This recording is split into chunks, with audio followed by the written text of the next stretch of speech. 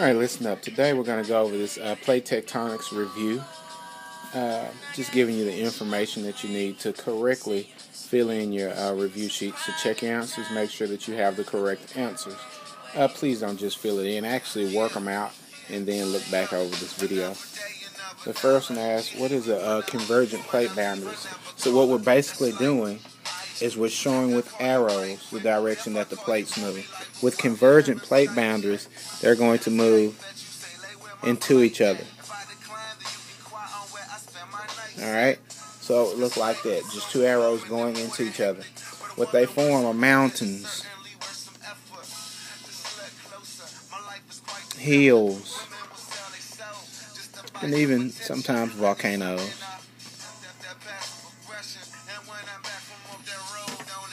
Another word to describe the convergent plate boundary is uh, colliding or coming together.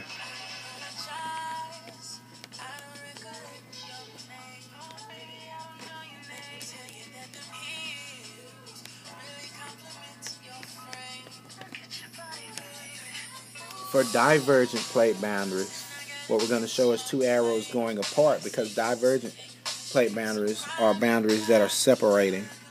So we're going to draw two arrows going in opposite directions. Divergent plate boundaries tend to form uh, seafloor spreading.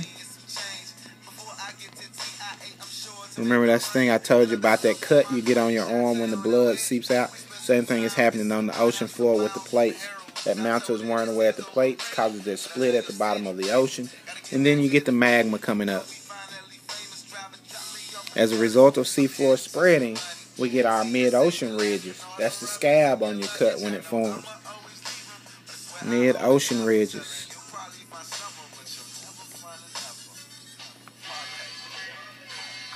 And another name for mid-ocean ridges is underwater volcanoes.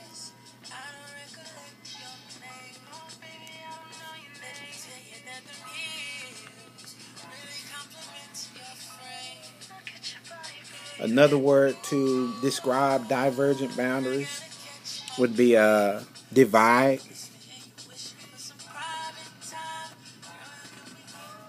Or move apart.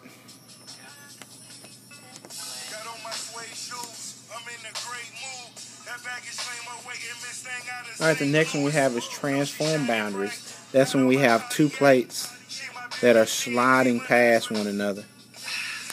So I can either draw one arrow going up and the other one going down, or I can draw one arrow going to the right and the other going to the left. It's your choice. Your transform boundaries tend to form your earthquakes.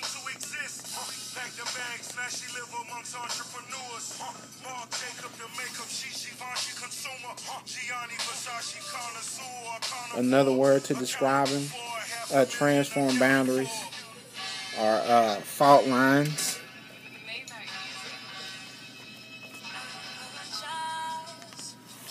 Also uh, you could put sliding. Subduction boundaries are my favorite. They're the most interesting to me because you have that ocean plate that's more dense than the continental plate. Says they converge into each other. That ocean plate is going to subduct or go underneath the uh, land plate because the ocean plate is more dense. All right, so they form your uh, volcanoes. My son came in here, so I lost my train of thought for a second. They also form your trenches. Remember, the trenches form directly above the subduction zone. Another word uh, for subduction is going underneath.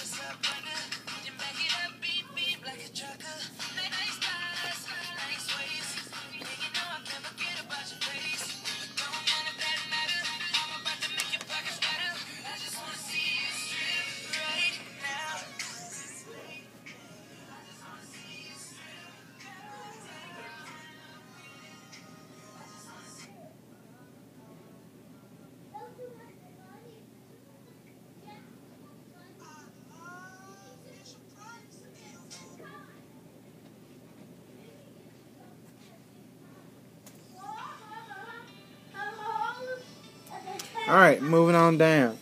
They want you to explain uh, potential and kinetic energy at fault lines and earthquakes. So I'll basically just tell you what's going on here. When it says explain potential and kinetic energy, it's where I told you you were pressing your hands together. So you're pressing your hands together as hard as you can, trying to get them to move. That's potential energy building up. That's what the fault line is doing. They're pressing against each other, uh, building up that potential energy, that stored energy, until it gets enough to get a little slip and release. Once it slips and releases, it's in motion. So that's known as kinetic energy.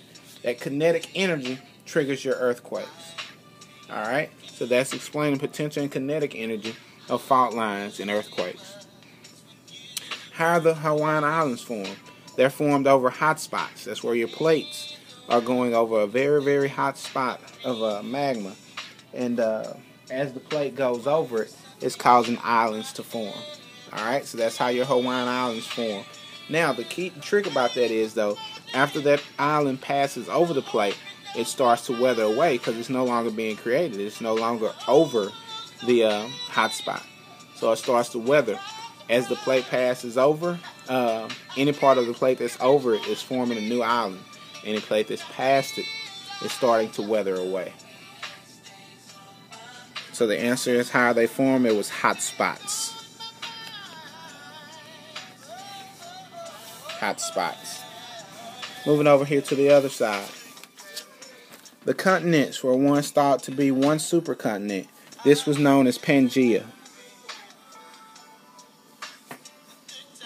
The theory of plate tectonics, scientists were able to hypothesize the plates were one giant landmass. By what evidence? All right, the evidence that was presented was uh, fossils. Uh, the continents fit like a puzzle.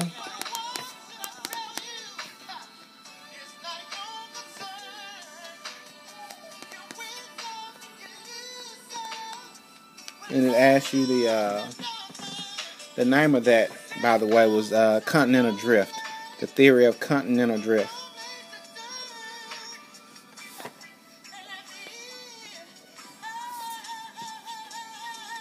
Also, uh, they found plant remains, which is another form of fossils, on uh, countries that they believe were once linked because the fossils that they found no way the plants could grow there in the climate that that uh, continent has traveled to nowadays. Number three says the San Andreas fault line is an example of what type of plate boundary? Uh, that would be transform boundary, sliding past each other. Explain how and what occurs when there is tension at fault lines. Like I said, your uh, potential energy is building up, building up, building up the tension, and all of a sudden it releases when it releases in kinetic energy, you get your earthquakes. Number four says the ring of fire is found at what uh, plate? The Pacific plate. That's what you should have put. Number five. Mid ocean ridges are caused by divergent plates because they're separated an underwater volcano is formed.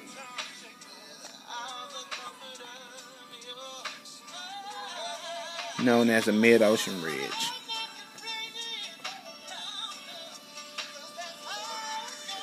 Number six. What is formed at the mouth of a river as the river meets a large body of water, such as an ocean? All right, you have your deltas being formed. The reason your deltas are formed is because your uh, ocean water is known as stationary. So when you have a river that's moving, meaning a stationary thing, it has to drop off that deposit somewhere. So you get a buildup of dirt uh, from the eroding rocks at that location. And we call that a delta. Number seven, the breakdown of rock is weathering. Weathering and the movement of rock is erosion. Number eight is a density question. If a rock has a mass of 202.5 grams and uh, it's 15 centimeters, what is the density of the rock? I always remember DMV. Which means density equals mass divided by volume. So you divide your mass by your volume. 202.5 divided by 15.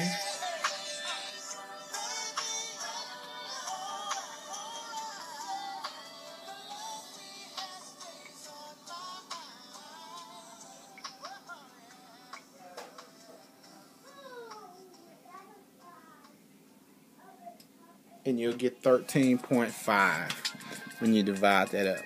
13.5. I use my calculator because I'm in a little bit of a rush. This is part one of your plate tectonics review.